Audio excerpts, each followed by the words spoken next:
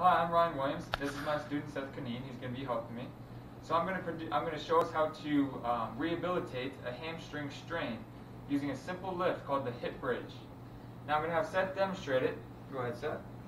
Now for my athlete, I want them to do four sets of 10 reps twice a week with, go ahead, buddy, with a minute 30 rest in between. Now notice how he's pushing up through his heels. Good, and he's holding the pause at the top. That's crucial so that you can actually squeeze the muscles that go into making this lift happen.